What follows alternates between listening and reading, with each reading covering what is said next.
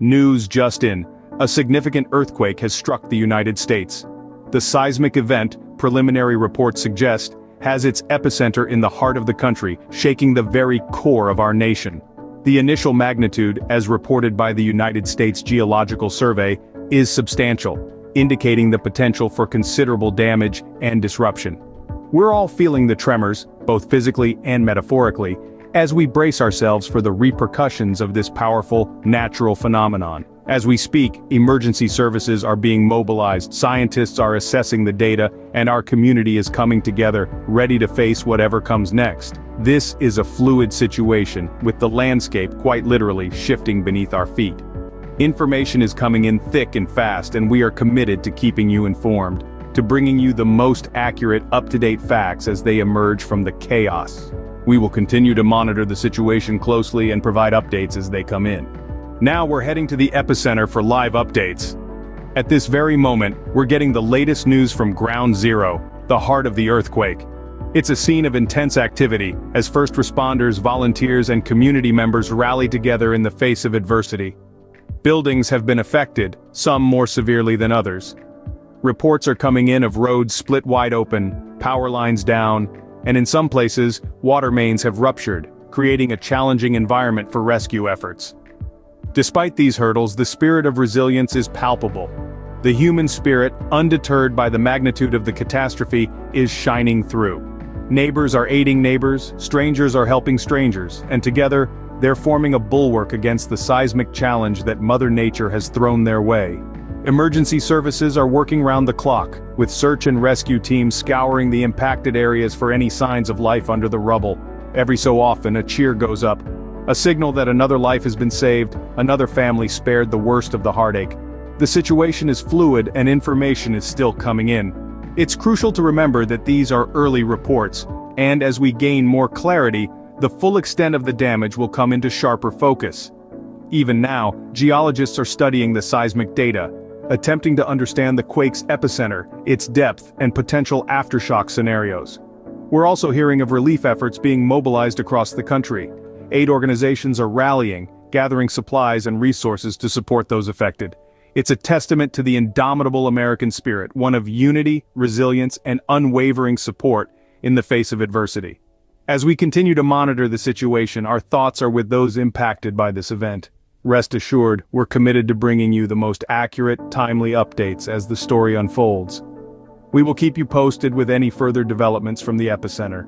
Authorities are now responding to this seismic event. From city halls to the hallways of our nation's capital, the response to this earthquake has been swift and coordinated. Local authorities were the first to step up. Their quick action in the immediate aftermath has been instrumental in managing the situation, They've been working tirelessly to assess the extent of the damage and to ensure the safety of those affected. On a national level, the response has been equally as proactive. Our nation's leaders have been briefed and are closely monitoring the situation. They've released statements expressing their concern and commitment to assist in the recovery efforts.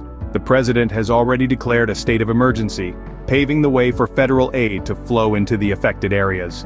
The Federal Emergency Management Agency, better known as FEMA, has been activated, they are collaborating closely with state and local officials to provide emergency relief and support.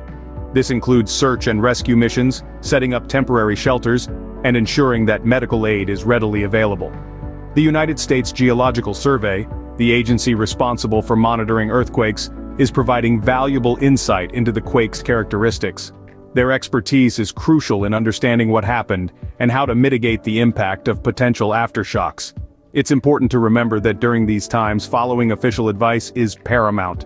Authorities have a clear overview of the situation and their guidelines are designed to keep us safe. They advise us to stay clear of damaged buildings, be aware of possible aftershocks, and to keep the lines of communication open for emergency services. The reaction from authorities has been swift, coordinated, and comprehensive. It's a testament to the resilience of our society and the strength of our systems in place. It's a reminder that even in the face of nature's fury, we have the capacity to respond to protect and to rebuild. Stay tuned for more updates on the authorities' response to this event. Let's hear from the people affected and discuss safety measures during such events.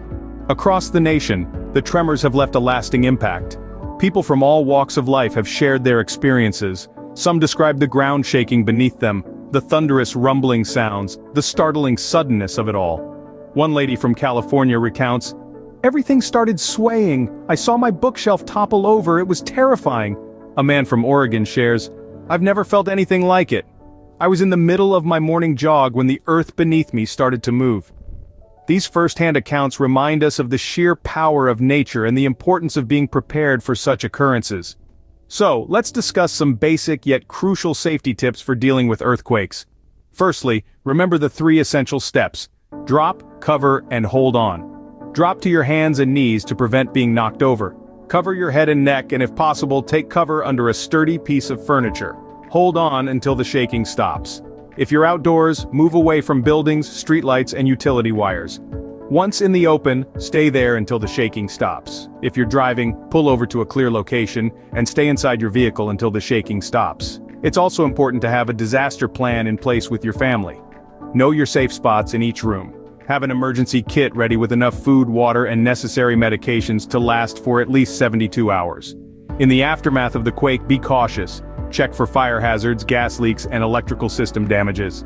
Listen to the radio or TV for updates and instructions from local officials. Your preparedness can make all the difference in times of such unpredictable events. It's not just about surviving the immediate tremors, but also about navigating the aftermath safely.